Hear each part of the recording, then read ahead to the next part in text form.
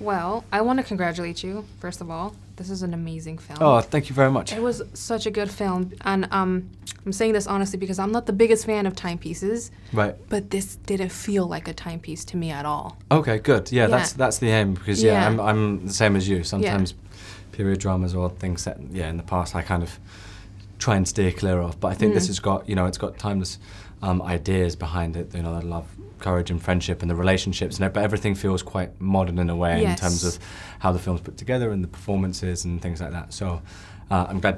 Yeah, glad you felt that way. I enjoyed it. Like the themes, everything, like you said, it was very relatable. You could Good. see friendship, you could see love, you could see falling in love, and you could see like the growing of, of, uh, of a boy into a, a man, but in the most vulnerable way. And I think you nailed that. Hey, thank you very much. you did a very oh, this good is a glowing review.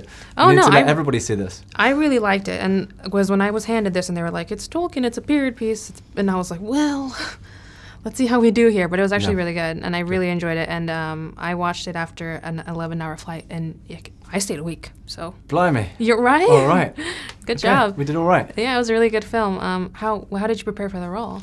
Uh, how do we prepare? Uh, it was, uh, I mean, it's odd because it, I mean, I could watch videos and listen to recordings of Tolkien later in life, but there wasn't so much to study when he Mhm. was younger. So I'd go back and read biographies and kind of learn where he grew up and Yeah. um, the circumstances of that, and then and then figure out an accent that seemed appropriate for Yeah. that, and then um, and then just from reading his work and trying to copy paintings of his and um, kind of doing my amateur sleuth. Uh, well, no, it was really good. Um, basically, and then and then also the, um, just working with Dome in terms Mhm. of creating the relationships and, and, and how you know they emotionally affected him through his through his youth. the relationship between you and Lily was awesome, but I think the the bromance that you made with the boys was really, like I felt that. I remember growing up and having that group of friends, and I really related to that part of that movie. Yeah, and it's so important for Yeah. Tolkien as well because you know, as, as I say, becoming an orphan at such a young age, and then um, trying to find his safe place, but also meeting these young guys who have similar interests in, in creativity and art, and then finding the bravery to share what he's been creating and his passions with them, um, but also losing them through World War One and Exactly. and how that affects him, and, and him kind of carrying the beacon forward after after they can can no longer do that. Well, you did an incredible job. I really liked the movie. Hey, nice one. Thank you so Thank much. Thank you so much for this interview. Have a great day. You as well. It's really nice to meet you. You as well. I loved the movie. Thank you. It's so weird to hear you without the accent. Oh, yeah. yeah. A lot of people assume I'm going to have an English accent. Yeah. I mean, I had one as a kid, but not anymore. You lost, yeah. Yeah. Uh, that's what happens. I also grew up in Mexico, and people also assume like, "Where's your little, your little accent?" And I'm like, "Oh, "It's gone." It's gone, Yeah. Like, yeah. I got here I'm when I sure it comes first- back naturally, though. You can, Sometimes, Yeah. but I was, when I was in the first grade, it would like, I was like that cute little accenty girl, and now they're like, "What happened?" I'm like, "I grew up." I know. They used to make fun of me. Yeah, I I loved your your accent, and I think Thank you did you. you did so well with it. Thank you. Um, I started learning British slang Oh, when I well on the plane here, um, and you might know more than I do. yeah, it's interesting. But um, as I was learning like British slang, there's different types of accents, and you've done different. Oh, yeah, there's accents. lots of different dialects. Yeah, and you do so good with it. Oh, thank you. yeah, I think uh, this role was one of my favorites of yours. Thank you. because of the accent. You played such a like you held your own in this movie. Thank you. Yeah, and that's that's not something I've I've seen a lot. I, I feel like Edith was someone though who very much existed in a in a very specific environment where she wanted more for herself and she had to if she had if she had something to say she almost had to make it more vocal than normal because she was a woman she was an orphan she had a very specific social standing and in order to be heard she had to Oh, be yeah. a bit louder Not to mention the era.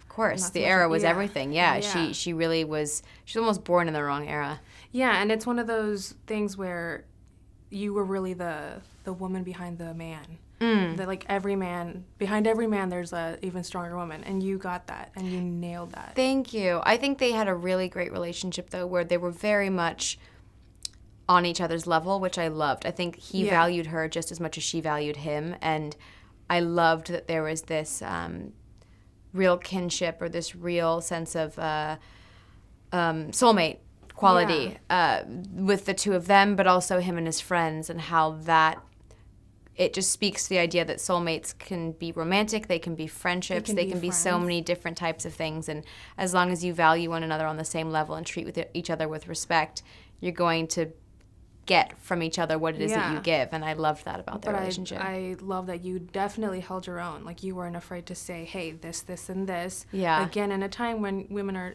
sit there and look pretty. and like, yeah, in silence, job. like you can only play piano, you can yeah, only do that. you can yeah, only do that. And I, you saw that in the beginning of the movie where she was like, "Just keep playing." yeah, And no, you definitely didn't. You Yeah. did your own, and you even served as an inspiration, especially in the tree scene. when right. you were dancing. Yeah. I thought that was so dope. Thank you. Yeah. Thank you. Yeah, that was fun. He he just said, "Now let's just do some elven dancing." I was like, "Okay, whatever that means. It'll be it'll be fun." It just she felt very grounded and very um, at peace with herself, and they had such a strong relationship that I think she could let go with him, whereas she had to be so poised and put together in her daily life. He was a sense of escape for her.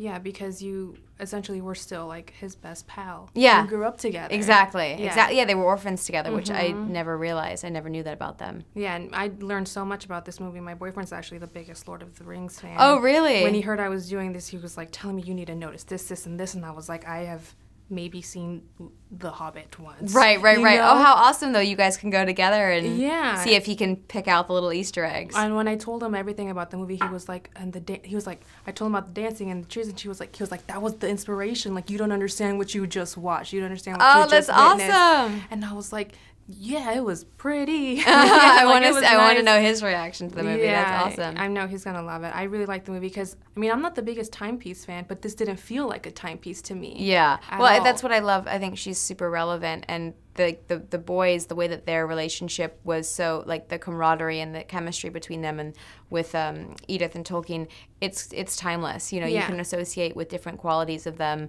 No matter if you're male, female, what time period you're from, Yeah. you know how old you are. I think that's the beauty of Tolkien's writing as well. Is that it doesn't matter what generation you're of, you can was- gather something from it, something inspiring. It was very relatable, and I definitely felt that. And Thank you. Well, thank you so much Thank for you. your time. Nice to meet you. Actually, I was gonna wear fancy boots, but then I packed two of the same, sh- like foot. Oh my god, For two this left trip? feet. Yeah, two left They're feet. matching the black and white theme that we've got. I know. on. I feel like You I can be in really the planned squad. this one out, but there you go. I don't feel as mm. bad anymore. Right, and mine are actually very old and quite embarrassingly shit looking. well, I didn't get any new shoes on Yeah. time. I bought these about 10 years ago. It, w- it was either these or the hotel slippers, so I was like, Right. oh, they'll chance it with them. Just yeah. rocking up. Yeah, cozy. you made the right choice, I think. This was, I've been looking forward to this interview. You guys were my favorite part of the movie. Oh, yeah, thank you. Because I grew up with four brothers, Right. so seeing Wow. this Well film, Yeah. it was like me growing up with my with my brothers. Mm. Like you really saw like how you guys fought, but how you guys loved each other, got mm. along, at the, and then still supported each other.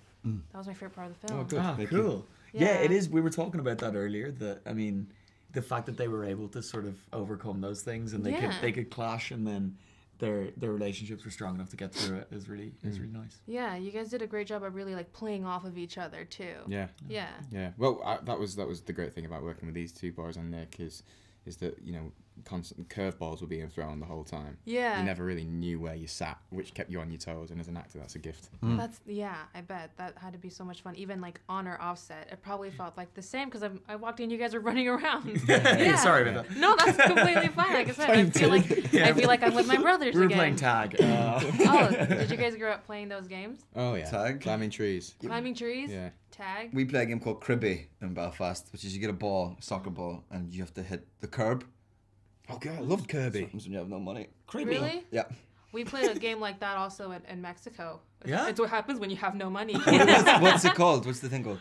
um, uh, pel- palotera, like. Paratara. Paratara. Yeah, yeah. I'm gonna bring that back to Belfast. Please do. A big old game of Paratara. Yeah. Let's get a game Get of that Paratara. shiny- Go game of It literally is just street soccer, and if you got to hit like the street You lamp changed. or a sign, you were like ten points extra. If you threw it over the car, you got more points as well. No, if you hit a car, that was like you won. Like yeah, yeah, good yeah, for you. You're a champ for the week. You won, but also you got in trouble.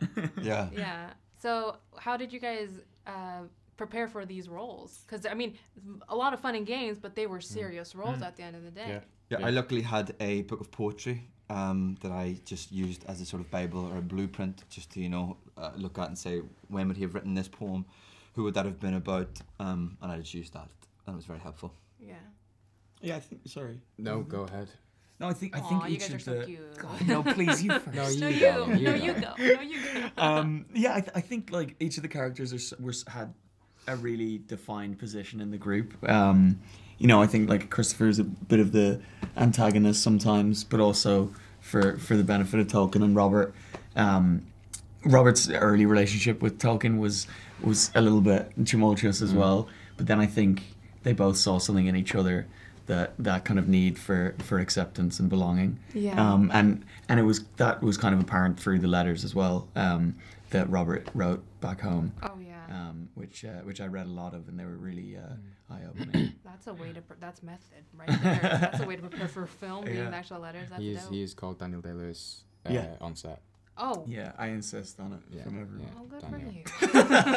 uh, I didn't have as much um, resources uh, for Christopher, just purely because they weren't published. yeah. Um, so I read a lot of um, Robert's letters and Geoffrey's poems, and um, allowed that to inspire really and, Yeah. and, and feed me with some kind of give me a hook to start on and Yeah. then could build around it.